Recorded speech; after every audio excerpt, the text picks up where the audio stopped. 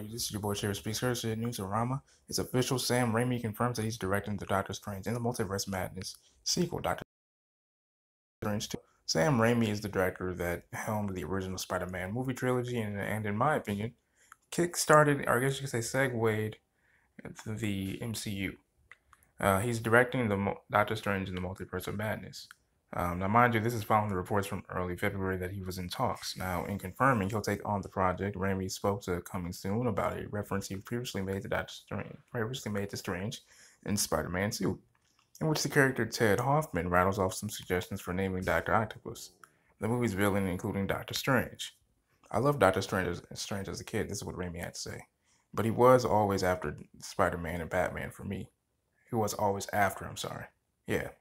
He was probably at number five for me of great comic book characters when told it's coming soon. He went on to say he was so original, but but when we had that moment in Spider-Man 2, I had no idea that it would ever be making a Doctor that I would be making a Doctor Strange movie. So it was really funny to me that coincidentally that line was in the movie.